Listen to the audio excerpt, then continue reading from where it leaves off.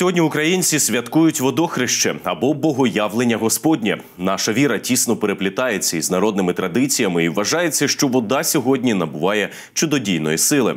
Із самого ранку Православна церква України проводить богослужіння, урочисту божественну літургію із нагоди свята Богоявлення, хрещення Господа нашого Ісуса Христа, предстоятель Православної церкви України та священно архімадрид Свято-Успенської Києво-Печерської лаври митрополит Київський і всієї України Епіфанії звершує в Успенському соборі Києво-Печерської лаври. Лунають молитви, відбуваються святкові богослужіння і у храмах Православної церкви України на Дніпропетровщині. У храмі Різдва Пресвятої Богородиці Православної церкви України перебувала моя колега, журналістка Маргарита Сопільняк. Маргарито, вітаю.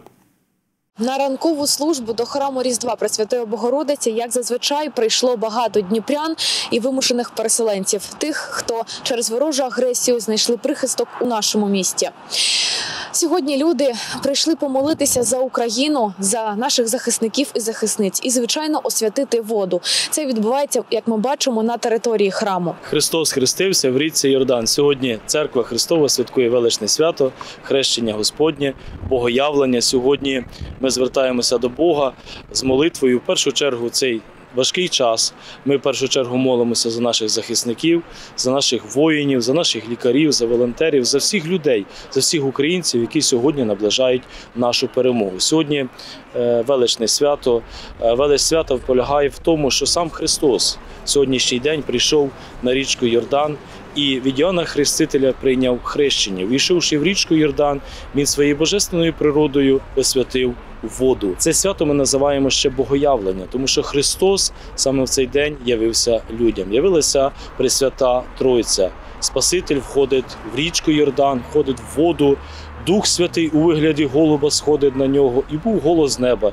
Це син мій улюблений, в якому моє благовоління, його слухайте. Сьогодні церква Христова нагадує нам ці слова і закликає всіх нас слухатися голосу Слова Божого, слухатися Христа, слухатися церкви, слухатися святого Євангелія і бути добрими дітьми Божими, тому що Христос, охрестившись, Він своїм хрещенням поклав початок нашого хрещення. І всі сьогодні ми маємо згадати, що ми є християни, що ми є діти, чата Божі, і жити по заповідях Господні. Тому я сьогодні всіх вітаю з цим величним святом. Бажаю, щоб ця вода, яку ми сьогодні освятили в день хрещення Господнього, щоб вона була всім на зцілення душі і тіла, щоб вона була на освячення домівок, на освячення душі, на освячення наших помислів, е, сердець, щоб Господь благословив нас, нашу країну перемогою і настав справедливий мир. Всіх вітаю зі святом. Христос хрестився в річці Йордан.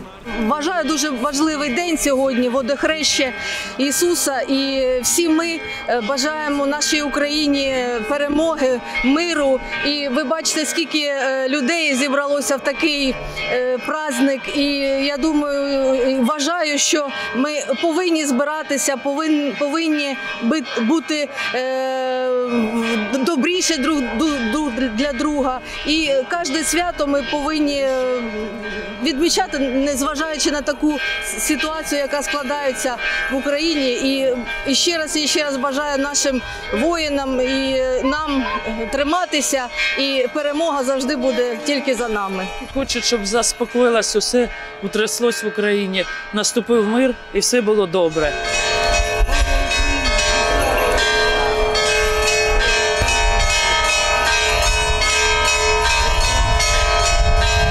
До речі, за народними прикметами сьогодні не можна сваритися і плакати. Також не можна прати речі, адже вважається, що таким чином вода забруднюється. І сьогодні погода здивувала нас теплом, е, що також за народними прикметами свідчить про гарний врожай.